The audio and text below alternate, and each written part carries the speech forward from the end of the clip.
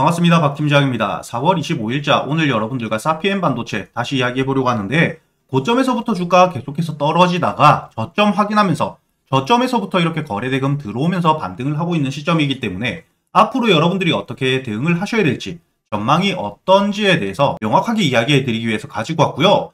제가 이 영상 마지막에 여러분들을 위한 선물까지 남겨두었으니까 여러분들이 끝까지 영상 시청하시고 이 선물도 모두 받아가시길 바라겠습니다.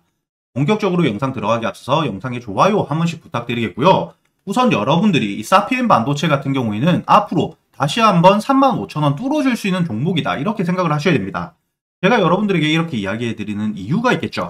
여기 기사를 제가 몇 가지 같이 볼 텐데 이 사피엔 반도체 글로벌 빅테크와 수주 계약을 진행했습니다. 이에 대해서 앞으로 이 증권사에서 제가 말씀드리는 게 아니라 유진투자증권사 애널리스트 분들이 앞으로 4년 동안 매출이 기하급수적으로 늘어날 거다. 이렇게 이야기를 하고 있는 시점이기 때문에 앞으로 이 사피엔 반도체 같은 경우에는 실질적인 실적이 증가하게 되면서 주가, 기업의 가치 자체가 증가할 수밖에 없는 종목이라고 생각을 하셔야 된다는 겁니다. 하지만 지금 수주 계약이 진행된 기업에 대해서는 현재 비밀 유지 계약을 진행했기 때문에 어떤 기업인지 그리고 수주 금액이 얼마인지는 아직까지 시장에 나와 있지 않은 시점이기 때문에 본격적으로 이 내용에 대해서 부각이 되었을 때 추가적으로 신고가를 만들어 갈 수밖에 없는 그런 종목이라고 생각을 하셔야 된다는 거죠. 이 사피엔 반도체가 앞으로 실질적인 실적 증가를 바탕으로 주가가 지금 저점에서부터 거래대금이 다시 들어오면서 지지를 받고 추세를 변곡할 준비를 하고 있는 시점이기 때문에 앞으로는 여러분들이 긍정적으로 이 사피엔 반도체에 대해서 지켜보셔야 된다는 거고요.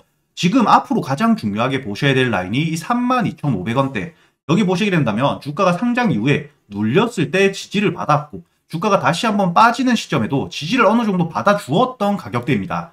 이렇게 지지를 받았던 가격대가 주가가 밑에서 올라올 때는 다시 한번 강한 저항으로 작용을 할 수 있기 때문에 이 35,000원대 이 가격대를 어떤 거래 대금으로 뚫어주는지 그리고 이 가격대를 뚫어줄 때 어떤 재료들이 추가적으로 나와주는지 시장의 전반적인 분위기를 확인하면서 여러분들이 충분히 5만원대까지도 지켜볼 수 있는 종목이기 때문에 앞으로는 여러분들이 사피엔 반도체 홀딩 유지하시면서 대응을 중요하게 생각을 하셔야 된다는 거죠. 제가 방금 말씀드린 것처럼 1차적으로 지금 강한 저항이 있는 이 32,500원대를 뚫어줄 때에 대한 거래대금 그리고 그 당시의 시장 분위기를 여러분들이 살펴보면서 홀딩 유지를 할지 그리고 주가가 눌려 주었을 때 다시 한번 추가 매수를 할지 혹은 매수하지 않으신 분들 신규 매수를 할지에 대해서 확인을 할 수가 있다는 겁니다. 이런 부분들을 여러분들이 매일같이 지켜보면서 대응하기 어렵다는 거 너무나도 잘 알고 있기 때문에 제가 지금 영상 보고 계신 여러분들을 위해서 이 사피엔 반도체 앞으로 이 실질적인 재료뿐만 아니라 수급에 대한 확인 모두 하실 수 있게 보고서로 모두 정리해 두었습니다. 이 사피엔 반도체에 대해서 실질적인 재료뿐만 아니라 이번 5월달에 나올 공시 내용과 함께 연달아 터질 기사까지 그리고 지금 증권사에서 확인하고 있는 세력들의 물량 매집 추정치를 통해서 여러분들이 어떻게 대응을 하셔야 될지 이 대응 방법에 대해서 정해둔 보고서에 대해서 여러분들에게 모두 100% 무료로 보내드릴 거기 때문에 지금 사피엔 반도체에 대해서 대응이 어려우신 분들 상단에 보이시는 제 번호 010-8000번에 1904번으로 사피엔 반도체라고 적어서 문자 보내주시면 제가 이 보고서에 대해서 여러분들에게 보내드릴 거고요. 이 보고서뿐만 아니라 제가 매일같이 여러분들과 유튜브 라이브 방송에서 매일같이 8시 반부터 방송을 키고 이 사피엔 반도체에 대해서 이야기를 해드리고 있기 때문에 여러분들에게 유튜브 라이브 방송 링크도 보내드릴 겁니다. 8시 반 이후에 오전 8시 반 이후에 여러분들이 언제든지 들어오셔가지고 저랑 실시간으로 소통을 하시면서 지금 사피엔 반도체 보유하고 계시는 주주님들과도 소통을 하실 수가 있다는 거죠.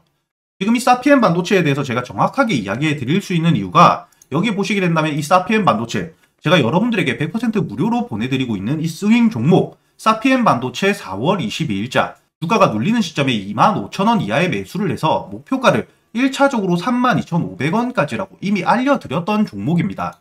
이렇게 주가가 4월 초 저점에서부터 거래대금 들어오면서 바닥을 확인했기 때문에 이 구간 주가가 다시 한번 눌려 주었을 때 25,000원 이하의 매수를 해서 아직까지 전량 홀딩을 하고 있기 때문에 제가 매일같이 여러분들에게 유튜브 라이브 방송에서 이 사피엔 반도체에 대해서 이야기해드리고 있다는 거죠.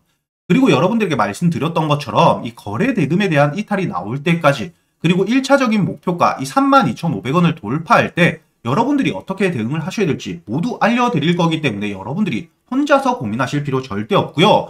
여러분들이 저한테 문자 보내주시고 이 보고서와 보고서를 읽어보시고도 이해가 안 되시는 부분 유튜브 라이브 링크 들어오셔가지고 언제든지 물어보실 수가 있다는 거죠. 그리고 제가 말씀드린 것처럼 지금 문자 주신 분들 아무래도 사피엔 반도체 한 종목만 가지고 매매할 수 없다는 부분 너무나도 잘 알고 있기 때문에 여러분들에게 매일같이 시가 매수할 수 있는 단타 종목과 재료 분석 모두 끝내고 사피엔 반도체처럼 이렇게 저점에서 잡아갈 수 있는 스윙 종목에 대해서도 여러분들에게 100% 무료로 함께 지금 문자 보내주시는 분들에게는 100% 무료로 보내드릴 거기 때문에 여러분들이 이렇게 확실히 상승 모멘텀이 있는 종목으로 저점에서부터 안전하게 매수해가면서 실제로 계좌에 수익을 찍어가는 경험 놓치시지 않으셨으면 좋겠고요. 제가 이렇게 단순히 말로 드리기보다 오늘 매수했던 시가 매수 단타 종목 어떻게 진행이 되었는지 지금 바로 보여드릴 수 있도록 하겠습니다. 오늘 제가 여러분들에게 보내드렸던 시가 매수 단타 종목 RS 오토메이션과 폴라리스 AI 이렇게 두 종목 보내드렸습니다.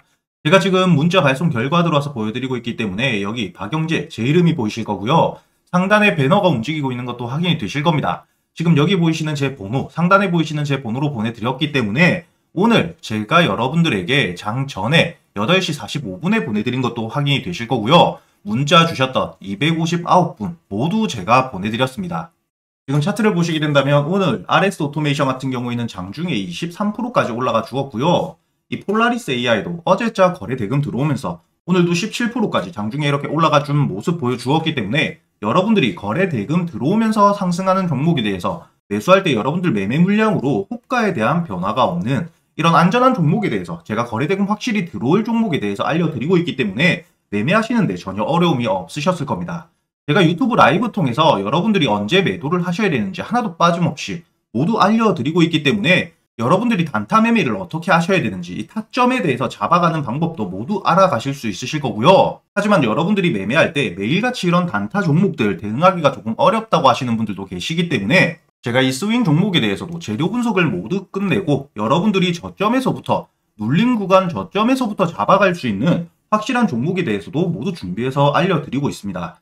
지금 매수를 준비하고 있는 이 스윙 종목 지금 저점에서부터 세력들의 대량 매집이 확인이 되었기 때문에 지금 눌림 구간, 지금 가격대가 최저점일 가능성이 가장 높은 종목이고요. 지금 이 재료를 보시게 되더라도 지금 HBM에 대한 핵심적인 부품을 개발하고 있기 때문에 이로 인해서 독점 가능성이 상당히 부각되고 있습니다.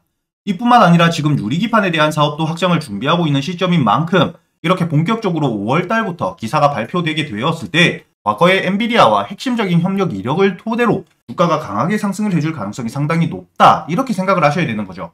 이렇게 확실히 재료 분석을 끝마치고 지금 시장에 가장 부각받을 수 있는 저점에서부터 여러분들이 여유있게 매수해서 여러분들이 상승을 여유있게 지켜볼 수 있는 종목에 대해서도 제가 모두 준비해서 함께 알려드릴 거기 때문에 상단에 보이시는 제 번호 010-8000번에 1904번으로 여러분들이 문자 보내주실 때 안타 혹은 스윙이라고 여러분들 매매 스타일에 맞게 함께 적어서 보내주시고요. 제가 이 스윙 종목에 대해서도 단순히 말로만 드리면 안 되겠죠.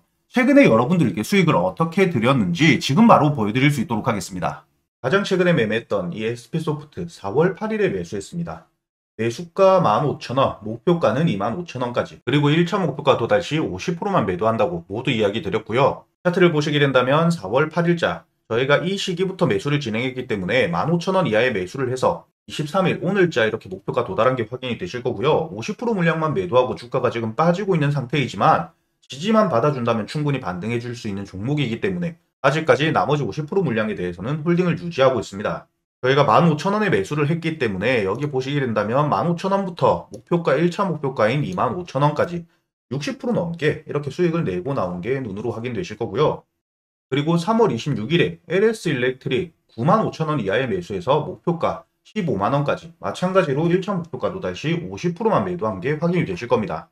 차트로 확인을 해보시더라도 저희가 이렇게 3월 26일 이 시점에 95,000원 이하의 매수를 했기 때문에 여러분들이 여유있게 매수를 해가지고 1차 목표가였던 15만원 도달 이후에 50% 물량은 아직도 마찬가지로 유지하면서 추가적인 수익 이렇게 챙겨가고 있는 거죠. 마지막으로 살펴보실 이 피롭틱스 마찬가지로 3월 6일에 매수를 한 이후에 매수가 13,500원, 목표가는 1차적으로 27,000원까지 제가 알려드렸습니다. 히롭틱스도 지금 보시게 된다면 13,500원 이하에 충분히 여러분들이 여유있게 매수를 할 수 있었다는 게 확인이 되실 거고요. 1차 목표가인 27,000원까지 여러분들이 여유있게 가져간 이후 50% 물량은 아직까지 홀딩을 하고 있기 때문에 지금 보시게 된다면 이렇게 저점에서 매수했기 때문에 고점 찍고 주가 눌리는 시점에도 여러분들이 이렇게 지지를 받아야 될 라인까지만 깨지 않는다면 홀딩하면서 추가적으로 여러분들이 가져가면서 수익을 낼 수가 있다는 거죠. 이렇게 스윙 종목에 대해서는 확실히 눌림 구간에서 여러분들이 추격 매수를 하는 게 아니라 본격적인 상승이 나오기 이전에 여러분들이 매수할 수 있게끔 제가 책임지고 모두 알려드리고 있기 때문에 여러분들이 문자를 보내주실 때 이렇게 단타 혹은 스윙이라고 여러분들 매매 스타일에 맞게 적어서 보내주시면 제가 이 부분 하나도 빠짐없이 모두 챙겨드릴 겁니다. 그렇기 때문에 최근에 매매하시면서 손실이 크셨던 분들 내가 사기만 하면 고점 찍고 내려간다 하시는 분들 이렇게 저점에서부터 여러분들이 상승 모멘텀이 확실한 종목으로 안전하게 매매하면서 계좌의 수익 쌓아갈 수 있었으면 좋겠습니다.